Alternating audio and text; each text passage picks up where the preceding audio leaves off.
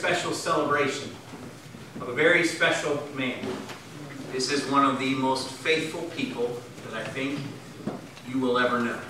Um, quiet to himself, but very truly gifted with a love for the Lord and desiring that love to be permeated into everything that he did and with everyone that he did it.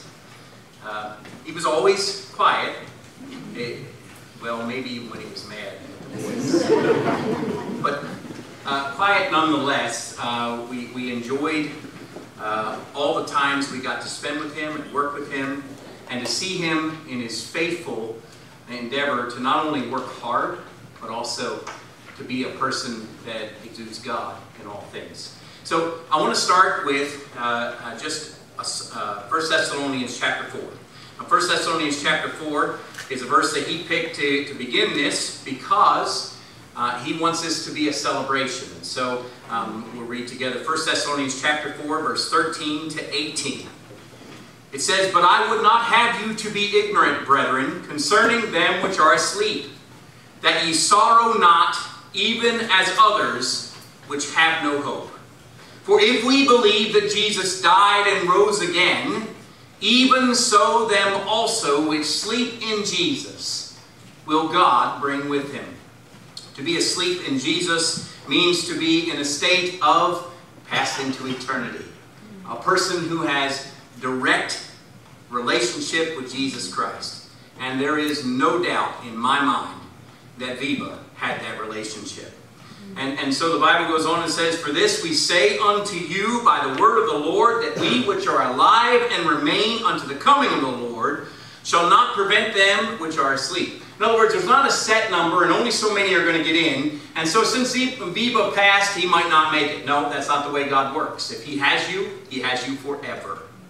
And you're his. In fact, the Bible goes on and says, For the Lord himself shall descend from heaven with a shout, and with the voice of the archangel, and with the trump of God, and the dead in Christ shall rise first. Then we, which are alive and remain, shall be caught up together with them in the clouds, to meet the Lord in the air. And so shall we ever be with the Lord. Wherefore, comfort one another with these words. You see, the scripture is very clear. God will come with a trumpet Wiebe is already in the presence of Almighty God in his spirit and his soul. To be absent from the body is to be present with the Lord. But there will come a day when the trumpet will sound and Wiebe's body will be raised up incorruptible, all new, with no sin marks and no struggles of the past, and everything ready to be in eternity with God. And then he's going to meet the Lord in the air with us, those of us who remain and haven't passed yet. And we'll get to enjoy eternity with Wiebe, but most importantly, with God. That's what the promise is. And that's what we want you to see today as we think about this dear man. I remember seeing a man that in his 60s was still doing hay at a level at which uh, in, in my 25 to 30 years old, he was making me feel like I was old. Okay, uh, you know, Bobby one time couldn't come, and we were trying to help put away some hay, and and uh, you know, Wiebe's bringing in the tractor, and he's pulling in the hay, and and and Hank's down there throwing it up, and I'm like, why is Bobby not here? What's he doing today? And you know, I had a couple of teenagers from the church, and he's sending them up there, and one of the teenagers starts mouthing at Hank. I can hear Wiebe telling him not too much. As, as it comes up the, the, you know, the chute there, it comes up with a, a, bale, a bale, and another bale on top. A bale, a bale, and another bale on top. People say, not too much, just the rest of the trailer, Dad. and then when he gets up there, you hear him say to the boy, is that enough for you? but see, here's Wiebe down there. He just smiles and shakes his head. He enjoyed it. he, he enjoyed it.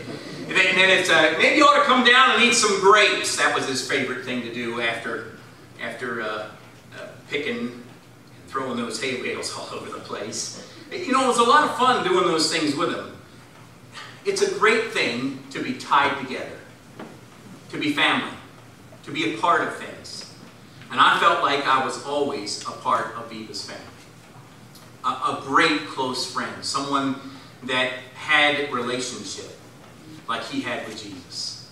And so, the first song that was chosen, Blessed be the tie that binds.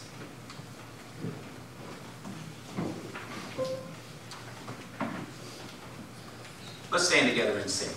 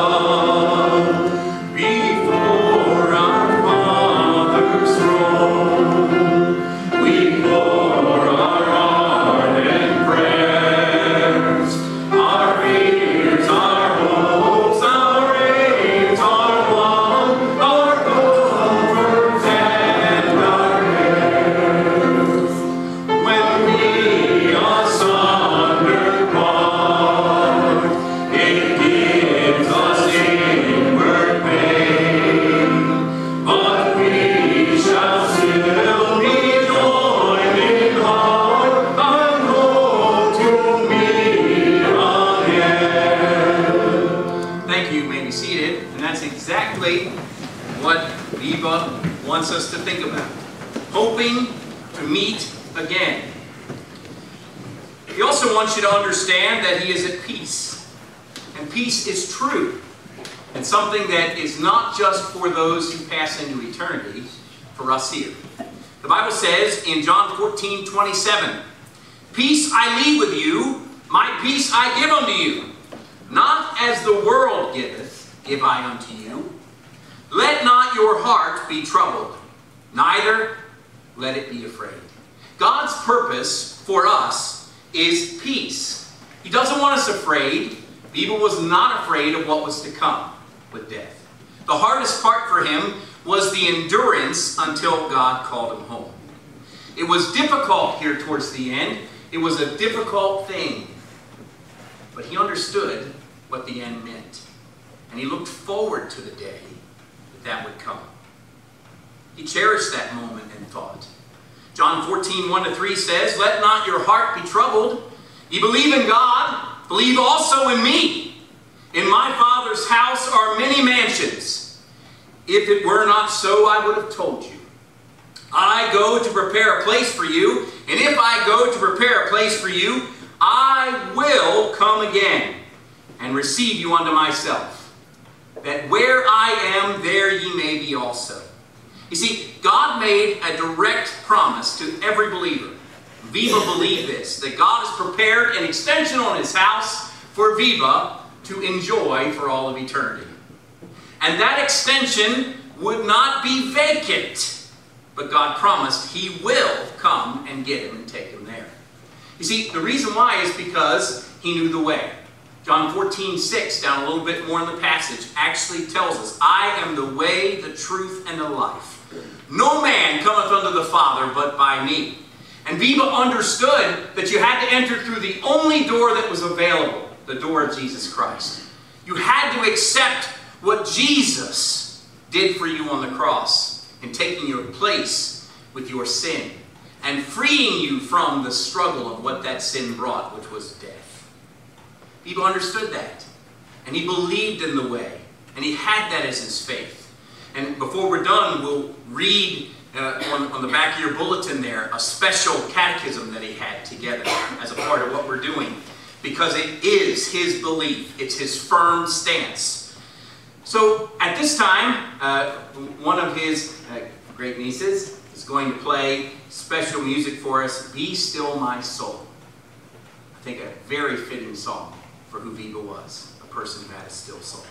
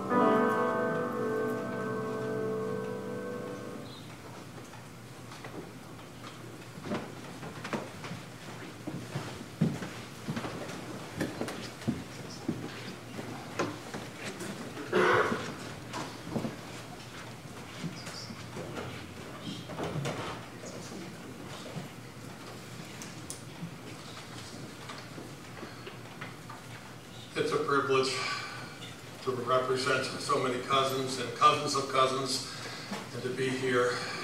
It's a privilege to say a few words, memories of my uncle. Who was my Uncle Wiebe? I have known him my whole married life. Matter of fact, I was only four, but I was at his wedding, and I remember his wedding in 1960.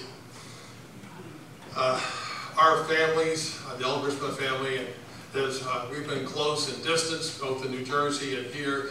There was so many doings together, and of course both farming, so so much in common.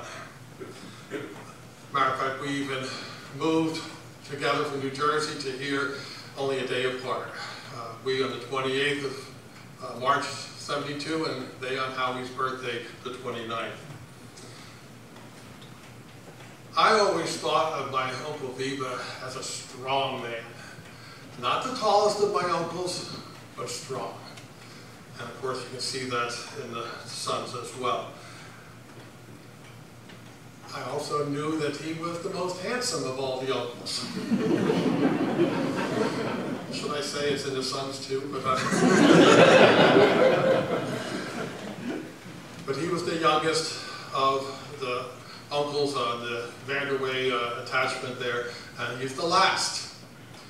And so with double uh, tears that I have to recognize, a generation is passing. And, and the uh, keepers of that Dutch culture.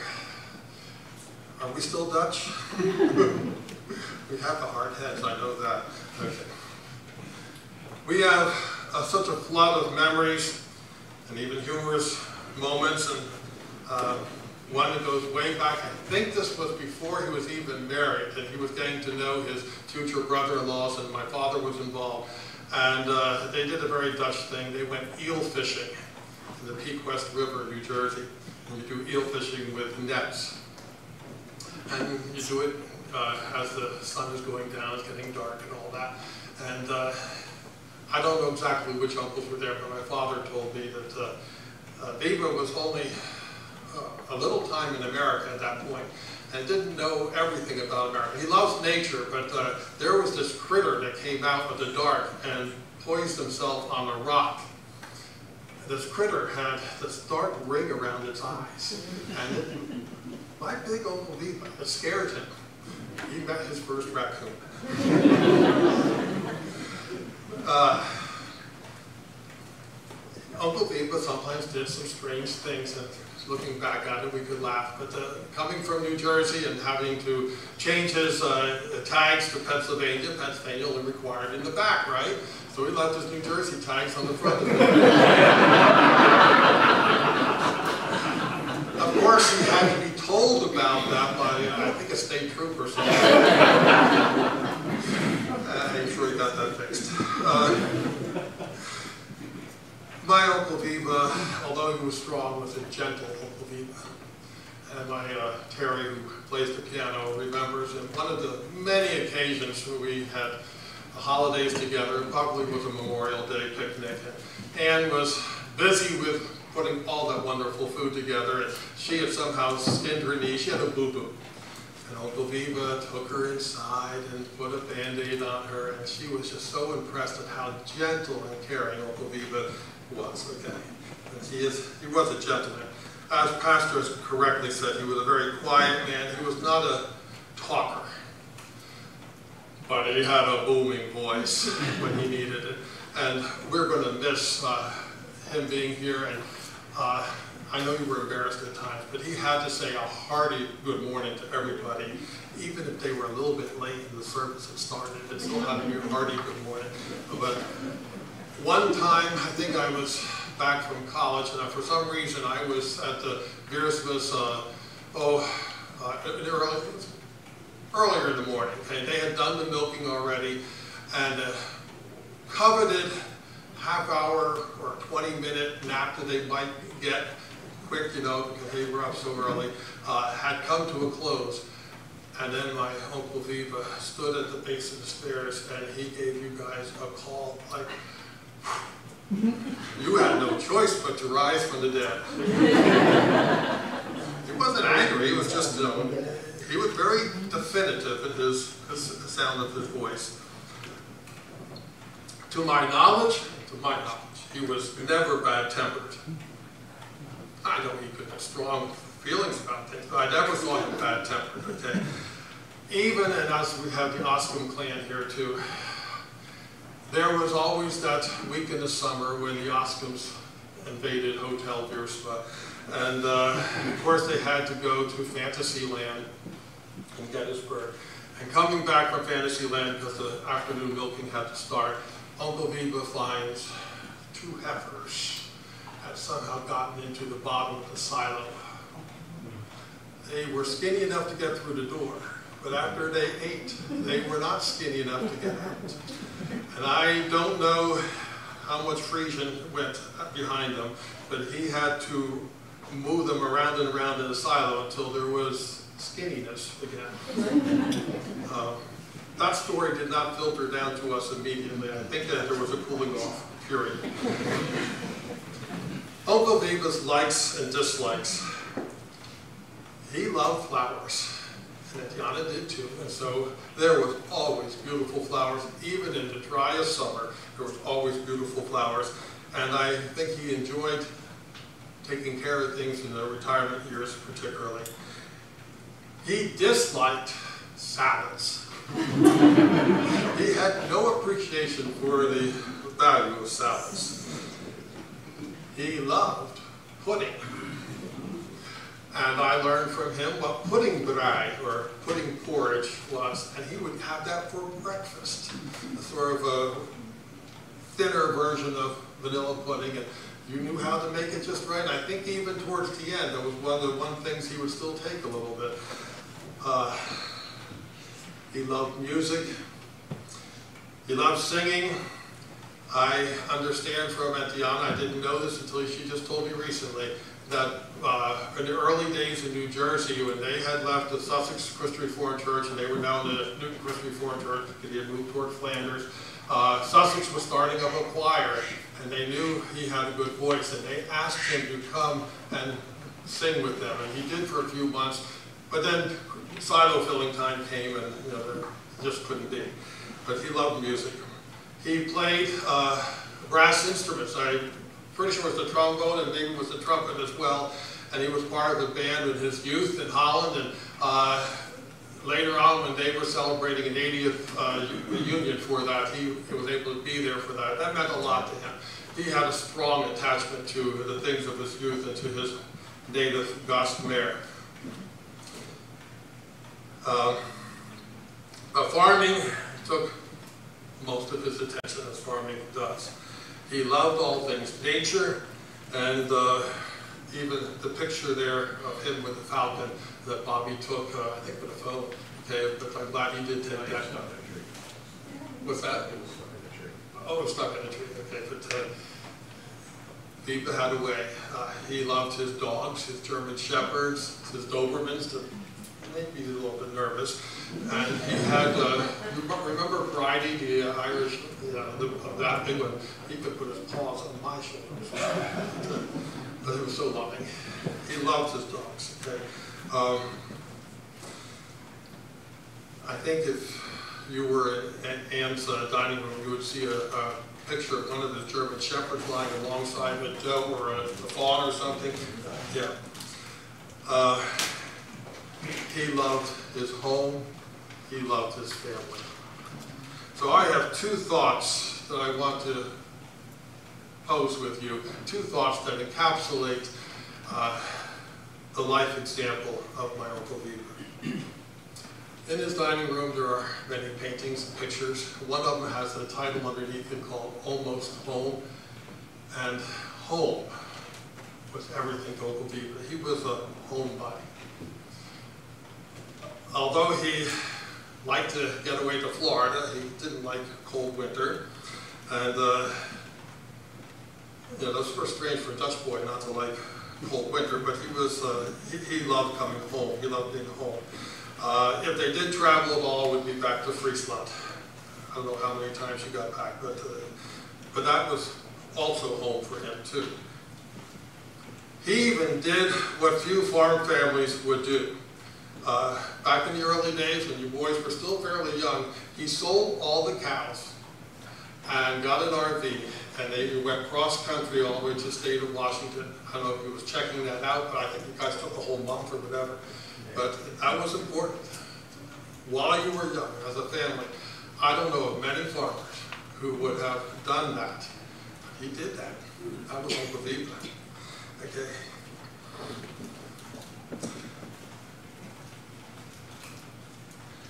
But it was at home, the home life that he and Ann created that he desired most. The hospitality at Hotel Viersma, I think, was unmatched among the relatives. The dinner table, and how many people did you invite to the dinner table all the time, was always the constancy of family devotion and Bible reading.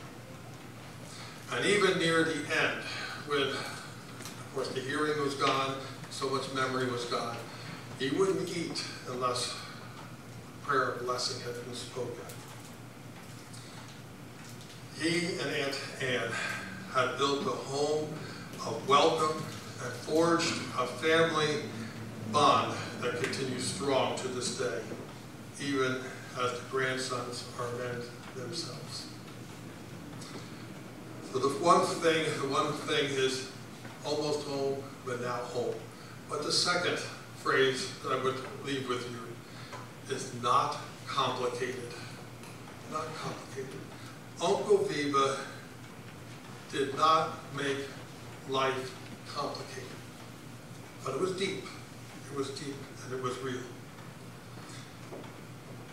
If you knew what you should be doing, then do it. Get it done. Every day there's work that you should do, and you go ahead and get it done. And the boys emulate that for sure. His word, his promises were to be kept. Pure and simple. No one can claim that Uncle Wiebe left them in his debt. He paid his bills, he met his obligations. And his honesty was not to be doubted. There were times when he had to deal with unfair situations. If you're a farmer and you deal with selling hay or buying cattle, it's not always totally upright, but he was honest. And Anya too, of course. Part of the proof of what I've just said is clearly evident in the sons that he raised. Same characteristics are there. So am I describing an ideal man who had a perfect life?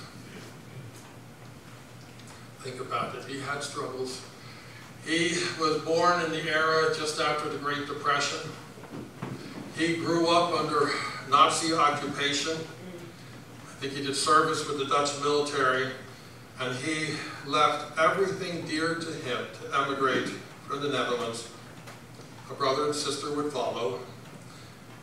Soon after uh, they were married, I think he had to go back to Holland to secure that to stay in America. They weren't a citizen yet, but you know that, that was an iffy moment.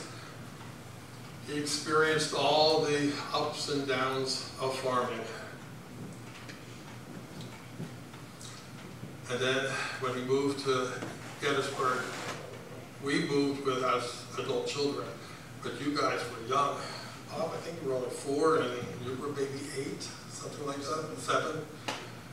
And I know it wasn't soon thereafter, you and Howie particularly were running chuck wagons and you might say you were adults. you were very responsible. There was lots of hard work.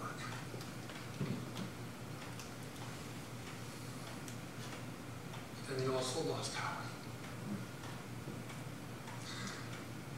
He kept on. Life did not stop.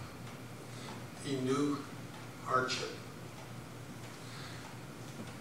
So what did he hold on to? As Pastor Andrew alluded, and we're going to look at that back of the program in just a moment.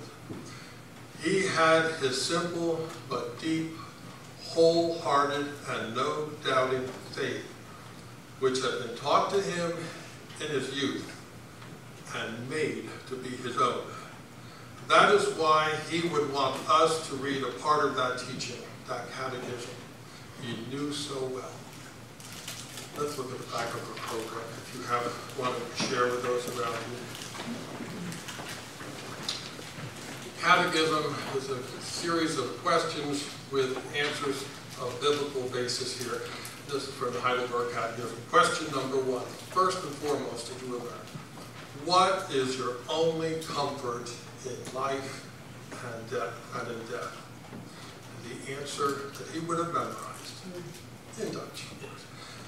That I am not my own, but belong, body and soul, in life and death, to my faithful Savior, Jesus Christ. He has fully paid for all my sins with his precious blood, and has set me free from the tyranny of the devil. He also watches over me in such a way that not a hair can fall from my head without the will of my Father in heaven. In fact, all things must work together for my salvation. Because I belong to him, Christ, by his Holy Spirit, assures me of eternal life and makes me wholeheartedly willing and ready from now on to live for him. My dear cousins, children, all of you, you have the memory and life example of a true faith in his heavenly Father that built a real and lasting love of life and family. Such an end result is worth the journey of faith.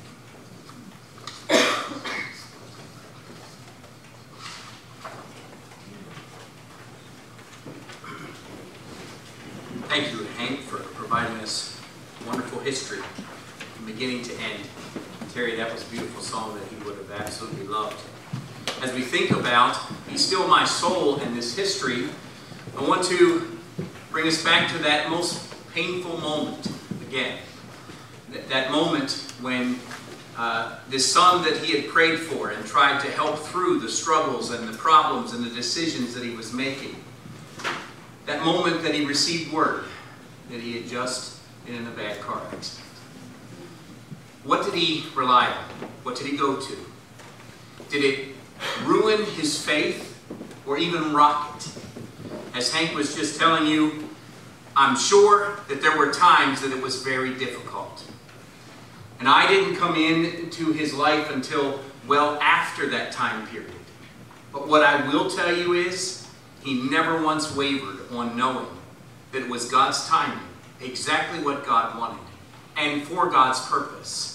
And I can't tell you the number of times that I was told so many young people came to know the Lord because my son went into eternity. Hardest day of my life, Pastor but a great day for the kingdom of Christ.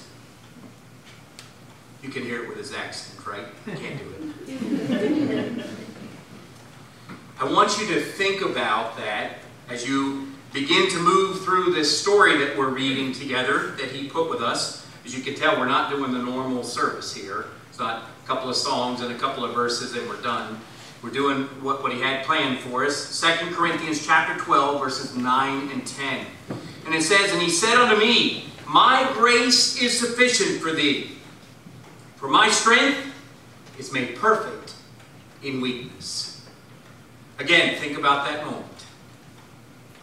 The moment that he realizes that his prayers won't be answered in the positive for his son on the earth, but they were answered in the positive in eternity for his son.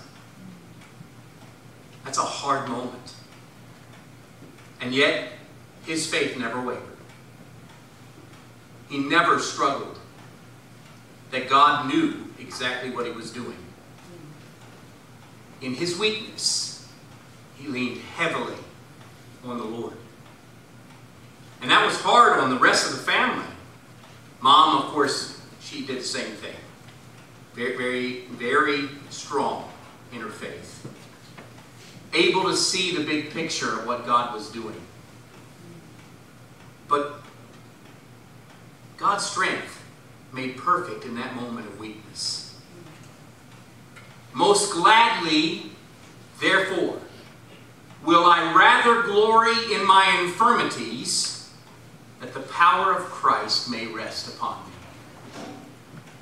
Again, not a man that I looked at and said, struggling in his power of Christ. No way. He didn't let the incident ruin his walk. He let him strengthen his faith. Therefore, look at these words that he picked. I take pleasure in infirmities. Again, I've heard him say, was rough for me, but it was best for Happy. It was rough for me, but God did amazing things in it. There were so many that accepted Jesus that wouldn't have been in eternity, maybe. I'm thankful for that, Pastor. I take pleasure in infirmities, in reproaches, in necessities, in persecutions, in distresses for Christ's sake. Again, it says, For when I am weak, then am I strong. The one thing, maybe there were more, but the one thing that he couldn't do anything about is one of those defining moments that I think was his strongest. And I think if I didn't give you any other memory than that, I think it's worthwhile. Because that's who he was. Still praying for the rest of his sons as they struggled through the same struggles, the same desire, and why did you do this, God, and all those things. Quietly, just pray, pray, and encouraging with those words. Faith was strong. So,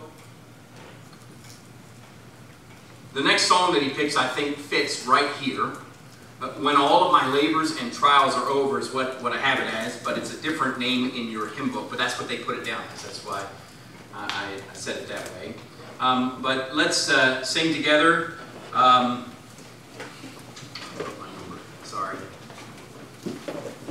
Number 556. Number 556 in your.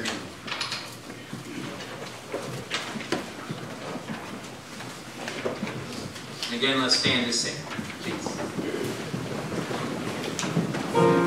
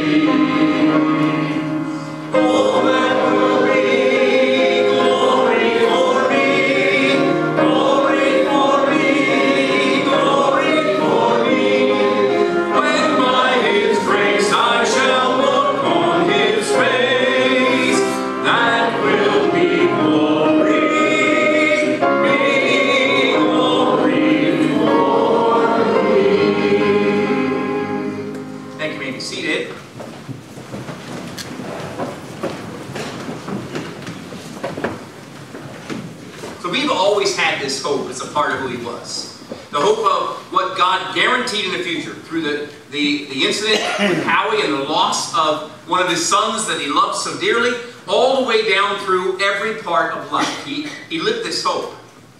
You know, and, and as Hank said, he always kept that at the forefront. I remember the day that they ordered a tractor trailer of hay. That I don't know that you'd call it hay. It was very, it was very light. Um, you picked it up. You okay? They can carry three. I, I can carry three. They could carry ten of those. I think they. It was very light. I've never seen somebody. I'm not saying he didn't get a little upset about it. okay, but I've never seen somebody to react the way that he did to, to struggles like that, where somebody didn't do what they were supposed to do for him. He paid them the right kind of price, and now they've kind of cheated him out of it. And it was an entire tractor load of lousy hay. Okay? And, and what I saw in him was uh, still a happiness. It did not change who he was. Again, I'm not saying he wasn't upset. He was. But I'm telling you, that in the midst of being upset, he, again, it did not change who he was or what he thought. And that God must have wanted it this way was almost the attitude you could see on him, even though he was aggravated. As we unloaded that truck very quickly. And it didn't fill the barn very much. And he wished he wasn't putting it in there altogether. I think I heard him say that. okay? Eh, but his attitude was one of keeping the hope.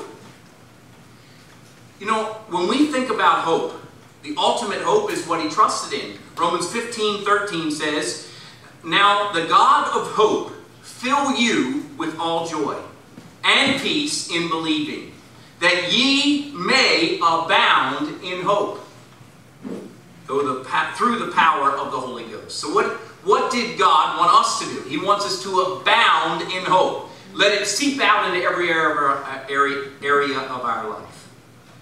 And again, I don't think I've met a, a more positive, uplifting person than Wiebe. Uh, you know, whether it's, as Hank said, uh, Hotel Viersma, you know, anytime I visited, anytime I went to the area, it was stay for lunch, come in for lunch, you want a snack? Uh, you know, I could be two hours late for lunch and she'd say, the boys just finished. Well, maybe they did, I don't know, but you, you know what I mean? It's sit down, it's still here. That's what she's trying to tell me. And here he is, wanting to sit down and talk politics. He loved to talk politics with me. Um, he, he loved to also talk about where the world is. And he liked to show me his pictures of the books and those type of things that he had of, of the Dutch land. A, a history of family members that, that helped to smuggle the Jews. Or, or plates that were hung on the wall or, or put into a, a special places. Or even so, some of the, the, the different uh, decorations that you typically find in it. He loved to show those things off and talk to us about them. What they meant. You know, he'd tell me um, in Dutch, like the plate that Hank said in Dutch, and then he'd explain it to me. I love listening to him explain what, what something means. It, it was never um, what I would consider a, a, word for word, like three words, three words. You, you know what I mean? He'd give you an explanation. He'd give you an understanding. He wanted you to grasp the Dutch thing. Well, who was this person? A special man that cared about his homeland, prayed for it regularly, and always trusted in his hope. And so, the next song that he picked that we've put into the order here for you is special music by, by Rita and Terry. They're going to do it for us here. Turn your eyes upon Jesus. That's what he attempted to do in every situation. Turn his eyes to Jesus.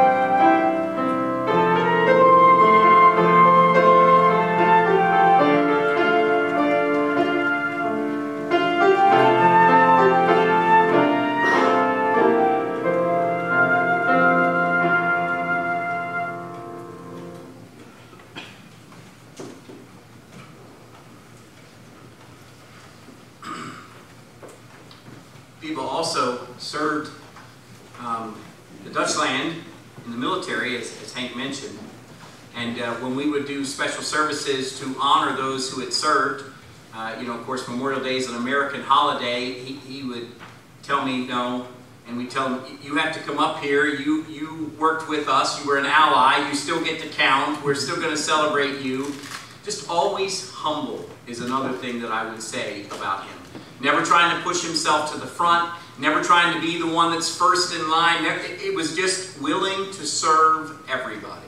And I think so many people from the area have been served by he, his wife, and his boys, and now his grandkids. Uh, you know, willing to do for anyone. And I think it all started with his attitude and his work ethic and idea of the way that things should be done. He did love his homeland, and he did love for others to know about it. But, you know, the thing that I think he loved the most is what we were just playing about, what Rita just did. Turn your eyes upon Jesus and what God did for him. And so the next verse that, that has been picked is Romans chapter 8, verses 38 and 39. A very important set of verses. For I am persuaded that neither death nor life, nor angels, nor principalities, nor powers, nor things present, nor things to come, nor height, nor depth, nor any other creature shall be able to separate us from the love of God, which is in Christ Jesus our Lord. He relied on these verses.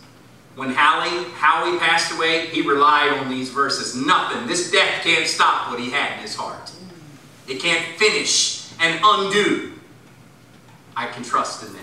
And he relied on it for every part of his life. When the crops went bad, he relied on it. When it's time to sell the farm, and then he wasn't allowed to do different things with the pieces. He relied on it. When the, the, the, uh, the things that he put in the ground, it rained too much, and then another year it didn't rain at all. He relied on it. This man always saw himself as safe in the arms of Jesus.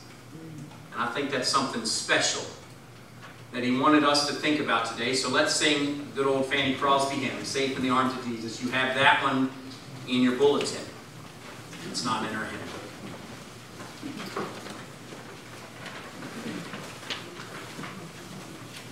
We'll let you stay seated on this one.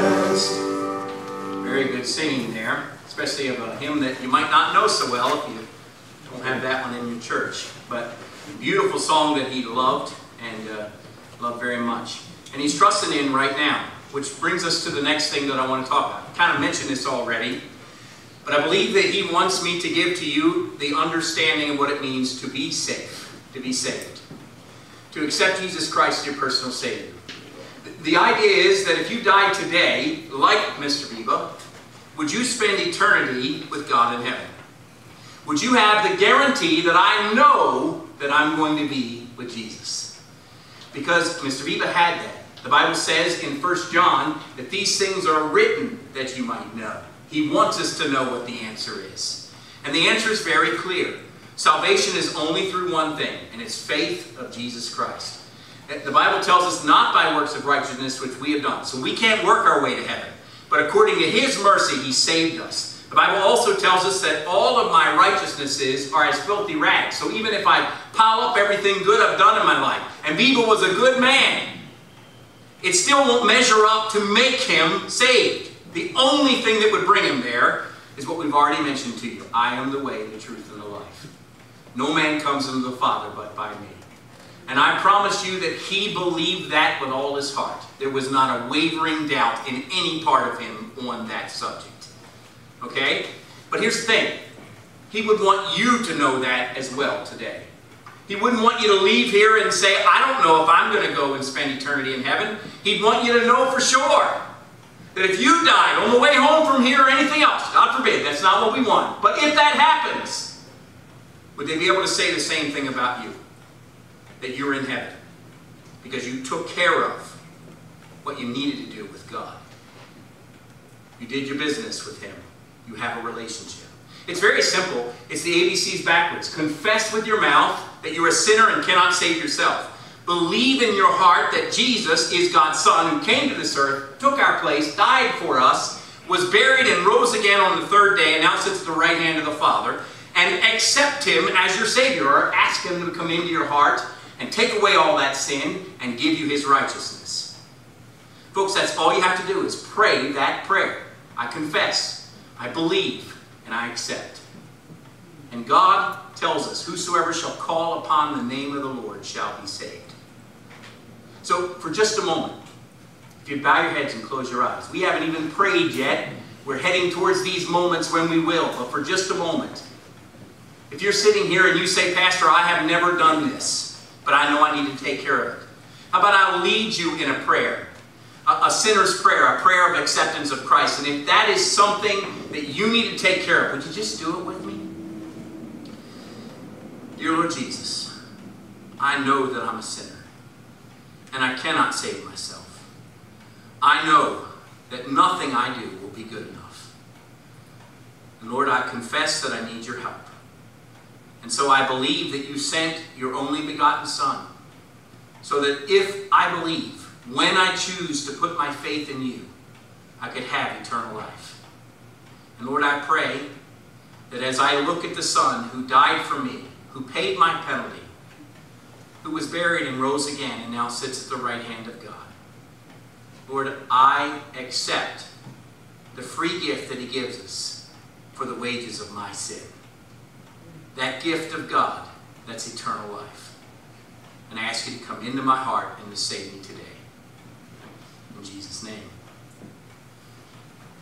Heavenly Father, as the rest of us are here praying, and as we think about Wiebe, and as we think about what he means to us, I pray that as we go into the blessing stage of who this man really was and what he brought to all who came in contact with him, Lord, I pray that you would touch each heart, that we want to be this type of blessing, that we want to open our home in this way, but we also want to have the strong faith not just something that is a token faith that does church and gives to church and is involved in church, but Lord, really has it changed who we are and how we do things. To make it so serious that even, as, as Hank mentioned, even in those moments, Lord, when when you're not able to do everything you always would do before, you still waited quietly for that moment of prayer.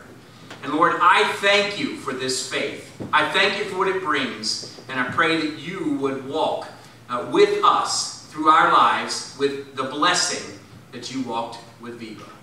What a special man this is. and what a true blessing it is to have been his friend and a part of those that he included around him. We love you and praise you for all that you do. In Jesus' name, amen. So here we are looking at now his, his blessing phase. Isaiah chapter 40, verse 26 to 31. Says, Lift up your eyes on high, and behold, who hath created these things, that bringeth out their host by number? He calleth them all by names, by the greatness of his might, for that he is strong in power, not one failed. You've heard already that he loved nature. Okay? This is a man who looked with his eyes and said, Look at all the blessings of God. He loved just looking at his farm. He loved looking at those flowers. He loved looking at a good field of hay. He loved looking at good beans. He loved looking at everything in nature. I, often wondered, and I teased him about, that, that big old highway right on the edge of his property. And, and, you know, in his famous way, I'm not saying exactly the way he would, but what do you do? What do you do? It's there, I can't do anything I just try not to pay attention. What do you do? Uh, you know, I would tease him about that. But because he loved that nature and that quiet, you know, and I think those are very fitting verses for him. But it goes on and says in verse 27, Why sayest thou, O Jacob, and speakest, O Israel, My way is hid from the Lord, and my judgment is passed over from my God. God's not here. He's not paying attention. He's not with me. He's not seeing. He's not paying attention to what I'm doing, whether I'm doing it right or not. That is not Bigler. But the rebuke to Israel was, Why do you say this? Right? And then in verse 28, Hast thou not known? Hast thou not heard? that the everlasting God, the Lord, the creator of the ends of the earth, fainteth not, neither is weary. There is no searching of his understanding. There's no end to it. And I believe Wiebe looked for that always, in nature and in everything he did. The fact that it doesn't end and God is so beyond us, so much more than we could ever imagine. And so when the, the tragedies happen, he is able to see that there's more at play here than just weather and placement. It's God. And I'm going to trust Him. I'm going to trust what He's up to, and I'm going to see Him do something amazing. Goes on and says in verse 29 He giveth power to the faint, and to them that have no might He increases strength. Even the youth shall faint and be weary, and the young men shall utterly fail, fall. Folks, I think Wiebe is the most tireless man I have ever met. Like I said, we could be there doing hay, and, and you know, Hank is sending it up to, to Bobby and I and whatever teenager we had with us at the time, and, and Wiebe's bringing the tractors. He's bringing the loads in and having it ready, and, you know, Hank's like, Dad, I'll get that, stop, you know, and no, um, he wouldn't do it. He wouldn't sit on the side and just watch, even as he got older. And he would quit never. You know, I'm up there in, in, in the, the loft. And he'd say, Oh, looks like we need some grapes. Come down and get some lemonade. It wasn't for him, it was for me. Do you know what, though?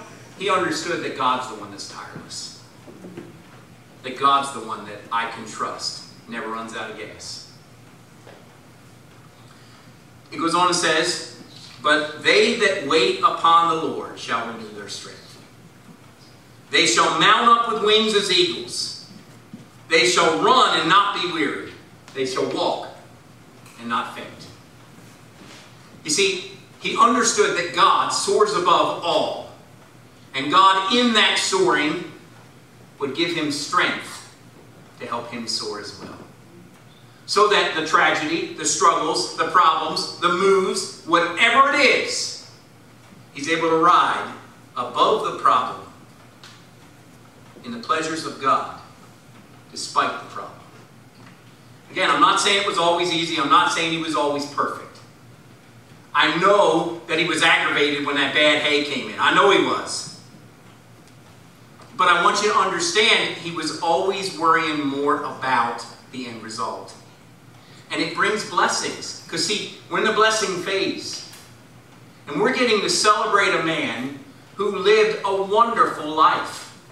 Those tragedies are there, but he lived a wonderful life. He had so many great memories. He loves having his boys right there on the farm with him. He loves having family coming from all over the place and traditions of Thanksgiving and other things that happen every year. He loved it.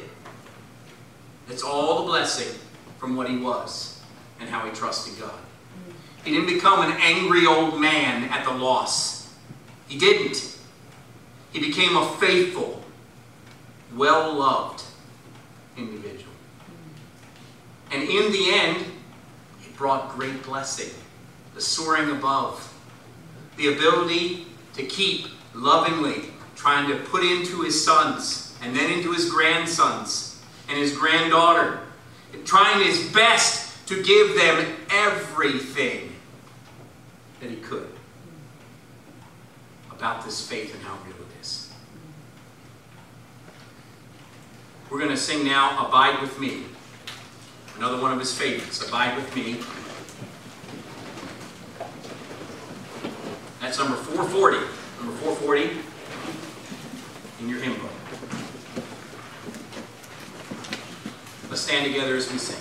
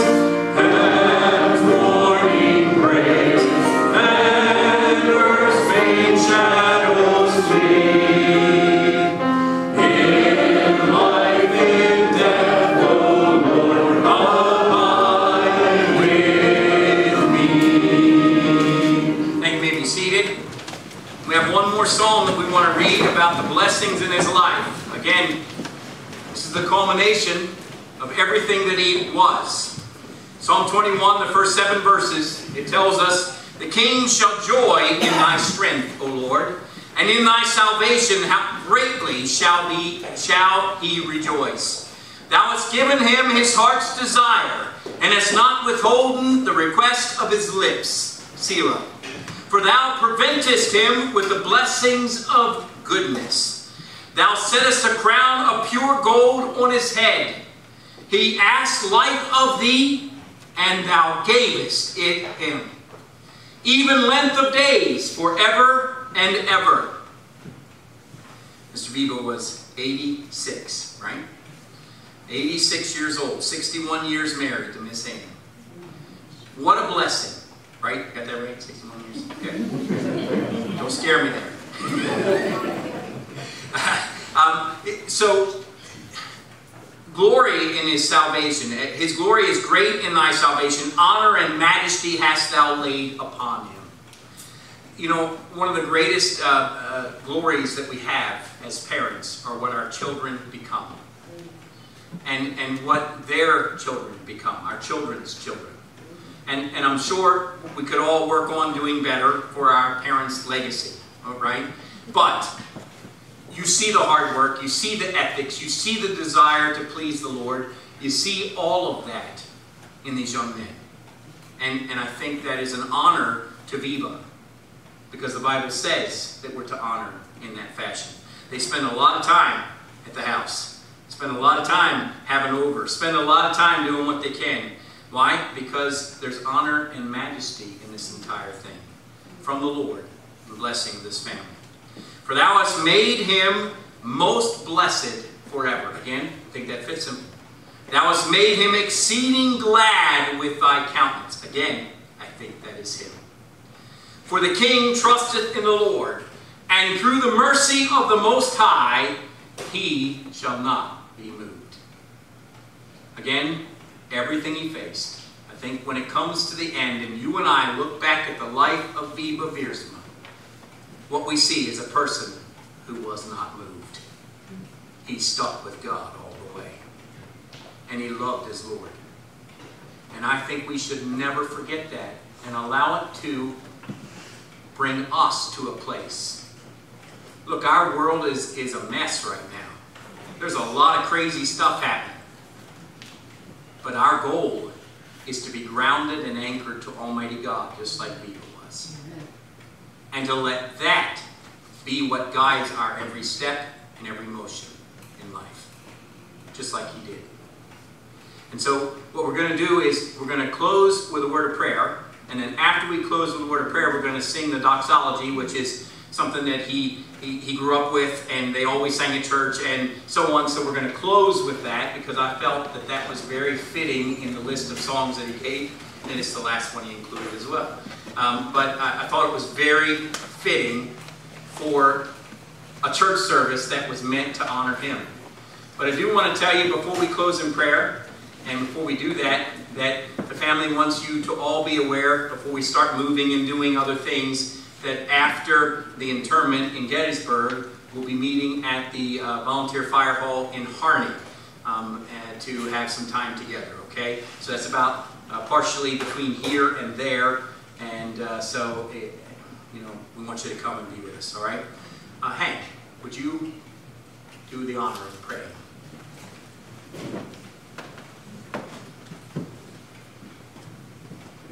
Heavenly Father, we thank you that you give us this moment to let go of one we have loved so dearly. You give us this moment so that we realize what a mistake it would be if we were let go from you for all eternity. You give us the shadow of death that we might never experience the true death separation from you. We ask, Lord, that in our going forth today, may our words be a cheer and comfort, uplifting and affirmation of all that is near and dear to you. We ask these things in Jesus' name. Amen. So now let's stand and sing together number 21. Praise God from whom all blessings flow.